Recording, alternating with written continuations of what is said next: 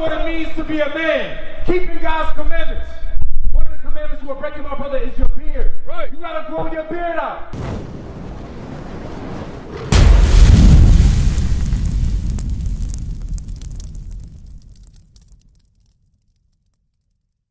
My brother, real quick. So I want to show you what it means to be a man in today's society, right? According to the scriptures. But read this real quick. Read that. First Corinthians chapter 6 and verse 9. Uh-huh. Know ye not that the unrighteous shall not inherit the kingdom of God? So the Bible says that the unrighteous, those that break God's commandments, will not receive eternal life. Contrary to popular belief, which Christianity teaches, right? Keep reading.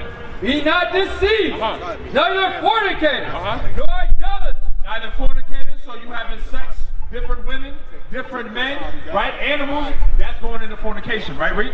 nor adulterers, Uh-huh. nor effeminate, Or what? effeminate. So my brother, I see an effeminate spirit on you, my brother. You know what it means to be effeminate?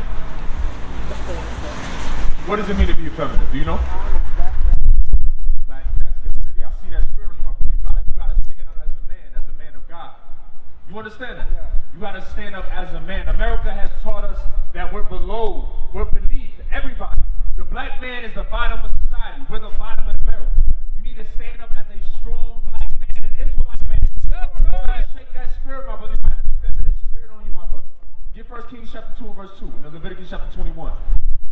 Cut, cut into your beard, my brother? Do you mind into your beard? You don't mar into your beard?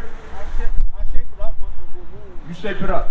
All right, your, your natural line is above that. I'm, I'm going to show you something because the laws of God are spiritual. When you mind into your beard, that puts that spirit on you. When you grow your beard out, that's a sign of manly dignity. That's a manly badge. Christ had a beard. The Most High God has a beard. We are made in the image of God. That's we right. Beards as men. Right. Read that. First Kings 2 and 2. First Kings chapter 2 and verse 2. You understand that, my brother? Yeah. Let me ask you something. Do you deal with men? Be honest.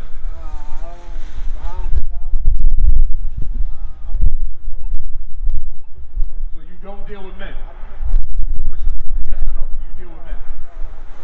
No, you don't. Read that. First Kings 2 2. First Kings chapter 2 and verse 2. Uh-huh. I go the way of all the earth. Be thou strong, therefore, and shall thyself a man. So you had our forefather speaking to his son, saying, Be strong therefore, show thyself a man. David was speaking to Solomon. He said, Show yourself as a man. Keep reading. and keep the charge of the Lord thy God Read. to walk in his way, Read. to keep his statutes Uh-huh. and his commandments Read. and his judgments Uh-huh. and his testimonies, Uh-huh. As it is written in the law of Moses, Uh-huh.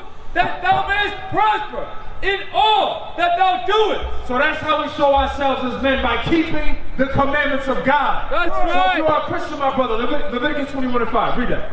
Leviticus chapter 21 and verse 5. Leviticus chapter 21 and verse 5. This is what it means to be a man. Keeping God's commandments.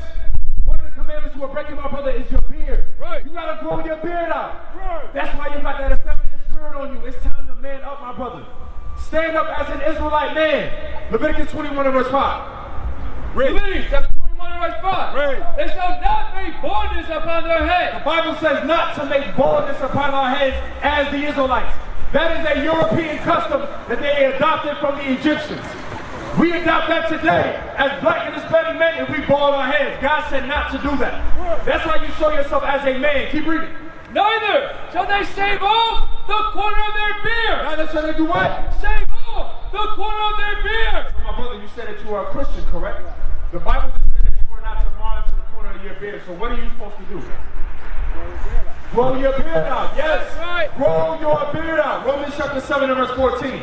Now I'm going to show you that that law is spiritual because I made a point. When you mar into your beard, my brother, what's your name? Jer- Jeriquan? Jeriquan. My brother, I didn't get your name. Jeriquan and Alex. So I made a point. When you break the laws of God, my brother, it's spiritual. And I said it put that effeminate spirit on you. I, I can see you, the way that you're talking is like real people, my brother. You got to stand up as a man of God. You an Israelite man, you God chosen people. Right. You are God's chosen people. Jesus Christ looked just like you. Bring it out. What America told us about our state as men, we're far greater than that. They told us that we're boys during the time of slavery. This is what they did to our ancestors.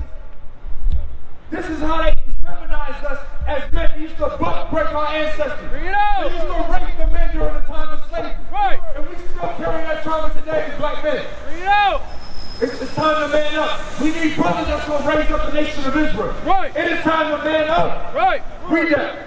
Romans chapter 7 and verse 14. Read. For we know that the law is spiritual. The laws of God are spiritual. God's laws are spiritual. Read. but I am carnal, sold under sin. Now go to uh, Proverbs chapter 8 and verse 4. Again, I made the point. The, the laws of God are spiritual. So when you are mowing into your beard, when you are cutting your head off, making parts in your head, you're balding your head, it puts a spirit on you. It puts a spirit on you. And you know who allows that? This image right here. This image that's pushed in Christianity. Whether you said you were Christian, I guarantee this is in your church. This image is in your church. Am I lying? Uh, I'm, I don't, I'm, You don't go to church? Okay, you don't go to church. But this image is in the Christian church, correct? Out. This image is not biblical. Right. This is not in the Bible. Right. You cannot show me in the Bible where Christ is a Caucasian European man with blonde hair and blue eyes. No. It is not in the Bible. Right. But our people worship this image. Right. They glorify this image. Right. And that's what puts that spirit on, that effeminate spirit, we don't, where we don't want to stand up as men. Bring it out. Proverbs 8 and 4. Proverbs chapter 8 verse 4. Bring it up! Y'all need this message today. Right. Y'all brothers need to hear this. Right. Read that. Unto you, O men, I call. Alex, God is calling you today to stand up manfully. My brother, God is calling you today to stand up manfully. Right. Y'all will not learn this understanding in the Christian church. Right. You will learn it in Islam, Buddhism, Mormonism, Seventh day Adventists, the Baptist Church. They will not teach you this understanding. Bring Right. It up! One second, I'll finish that. Unto you, O men, I call. Right. And my voice is to the sons of men. That's You gotta fly our numbers on the back of that fly. You, you gotta shake that effeminate spirit, my brother. You got an effeminate spirit on you, my brother. It's time to stand up manfully. Right. Come back to who you are, an Israelite according to the Bible. Right. Change your ways. Right. Grow your beard out, man. Grow your beard out. The black and Hispanic man is weak as hell today. It's time to stand up as the Israelite man and take this oath over. That's right. Nation is family. Nation is community. Nation is men leading by example. Nation is women's support. Nation is children with role models. Nation is unity. Nation is.